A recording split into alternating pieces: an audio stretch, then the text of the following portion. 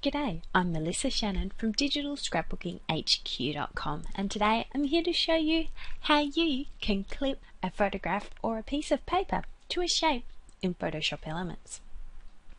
Today I'm working with a kit from Karen Lewis Designs called Silly Billy. The first thing I'm going to do is add to my paper a photograph that I'm keen on. Drag it in from the photo bin. The next thing I need to do is draw a shape that I want to clip this photo to. I'm going to choose a rounded rectangle. I'm going to click and drag to create the shape. Then I'm going to make sure that my shape is below my photograph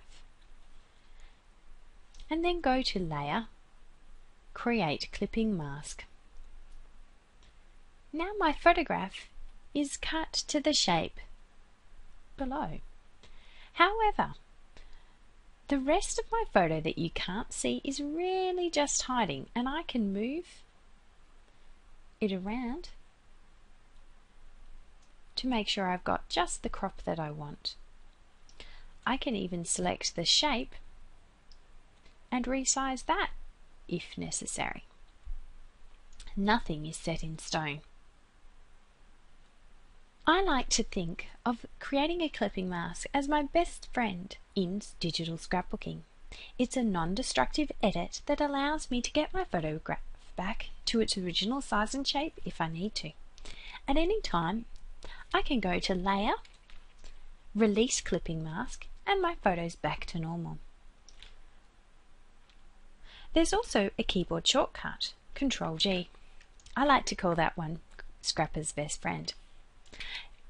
A third alternative way to create a clipping mask is to hold down your Alt key and move your mouse until you see these two circles.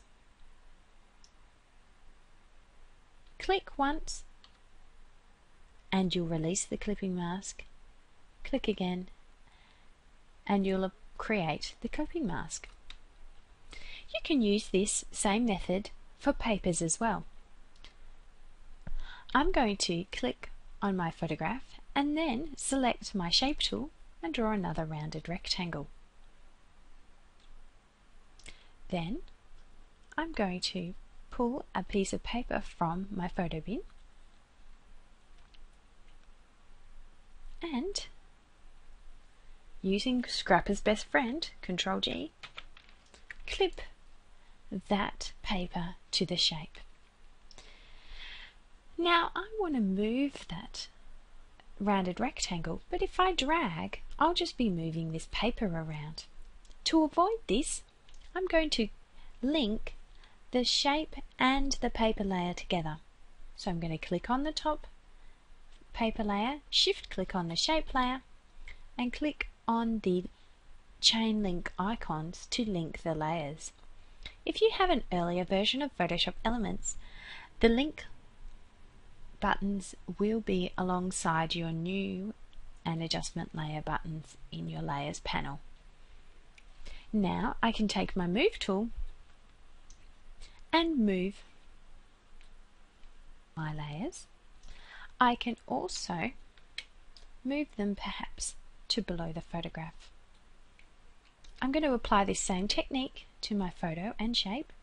Click on my photo, shift click on shape, link the layers, and then I can move them as one. Now I've got the basis of my layout ready for journaling and embellishing. Thanks to Scrapper's best friend, Control G, to create a clipping mask. Would you like to learn more about clipping masks?